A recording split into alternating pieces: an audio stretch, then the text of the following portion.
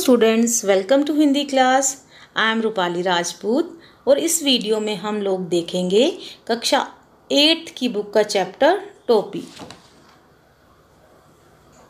प्यारे बच्चों, आज का सुविचार। ज़िंदगी इतनी मुश्किल इसलिए है क्योंकि लोग आसानी से मिली चीज़ की कीमत नहीं जानते। आज की हमारी कहानी टोपी और लेखक संजय।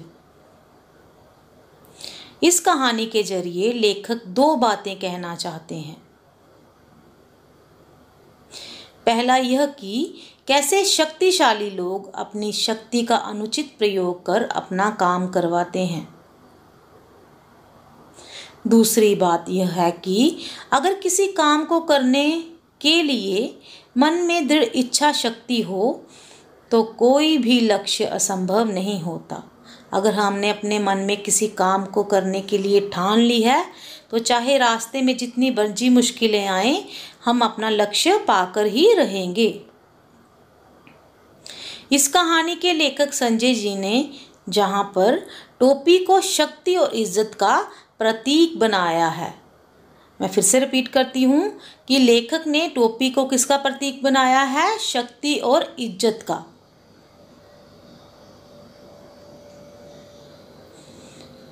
सबसे पहले हम पढ़ेंगे पाठ का सार। इसका पाठ में नर चिड़िया और मादा चिड़िया की कहानी बताई गई है। एक गबरिया गोरेया और एक गबरा नर गोरेया थे। दोनों एक दूसरे को बहुत चाहते थे। एक दिन दोनों में मनुष्य के द्वारा कपड़े पहन, पहनने पर बहस छिड़ गई। गवरिया को, कपड़ों को सुंदरता और मौसम की मार से बचने का साधन मानती थी, जबकि गवरा इसका विरोध करता था। उसके अनुसार कपड़े से सुघड़ काया दिखाई नहीं देती और मौसम की मार को झेलने की ताकत भी चली जाती है। गबरिया को आदमी के सिर की टोपी भा गई। उसने टोपी पाने की जिद ठान ली।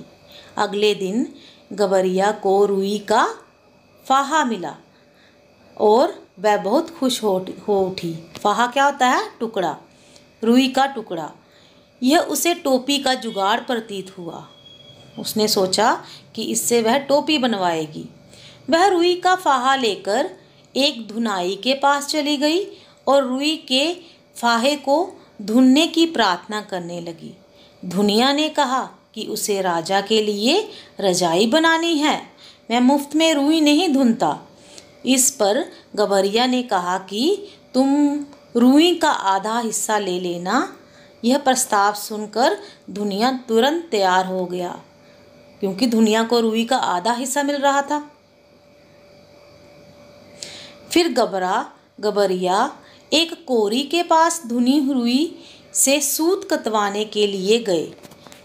रुई से सूत काता जाता है, जिससे कपड़ा बनाया जाता है। उसने भी राजा की अचकन के लिए सूत काटने की बात कही।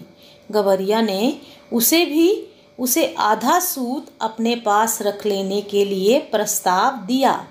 वह भी मान गया। उसने काफ़ी महीन और लच्छेदार सूत काट दिया। इसी शर्त पर उन्होंने बुनकर से कपड़ा भी बुनवा लिया। उसने भी आधा कपड़ा अपने पास रख लिया। अब गवरिया कपड़े को लेकर दर्जी के पास पहुँची। दर्जी ने पहले तो कहा कि वह राजा के नवजात छोटे बच्चे के झब्बे सिलने में व्यस्त है।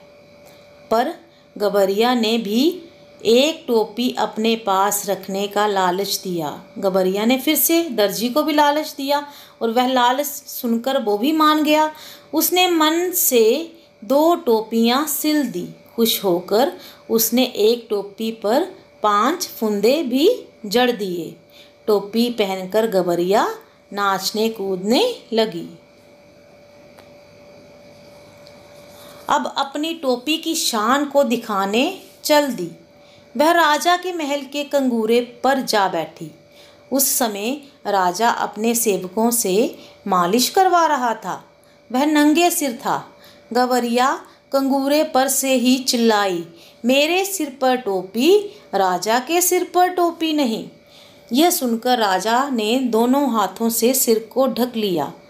उसकी आज्ञा पर एक सिपाही ने गुलेल से गवरिया की टोपी नीचे गिरा दी, क्योंकि जो गवरिया थी, उसने राजा की बेजती की थी। टोपी की खूबसूरती देखकर राजा दंग रह गया। अब वह इस टोपी को बनाने वाले की खोज में जुट गया। दर्जी, कोरी, धुनिया सभी को बुलाया गया। धुनिया ने कारण बताते हुए कहा कि गबरिया ने जिस जिससे काम करवाया, आधा हिस्सा दिया। आपके यहाँ से तो कुछ नहीं मिलता। उन लोगों ने बोला कि, राजा जी, हम आपका हर समय काम करते हैं। आपके लिए कपड़े सिलते हैं। आप जो काम बोलते हो, वो हम करते हैं। लेकिन आपने हमें कभी भी उसका मुआवजा, उसके लिए, उसके बदले में कुछ भी नहीं दिया। लेकिन गबरिया ने हमें, हमसे जो भी काम करवाया, उसका आधा हिस्सा हमने दिया गया। इसलिए हमने बड़ी ही मेहनत से उसकी टोपी तैयार की। आपके यहाँ से कुछ भी नहीं मिलता। तमाम बेगार करवाने, सख्ती से लगान वसूलने के बावजूद राजा का खजाना खाली ही रहता था। राजा ने कहा, गबरिया की टोपी को वापस कर दो।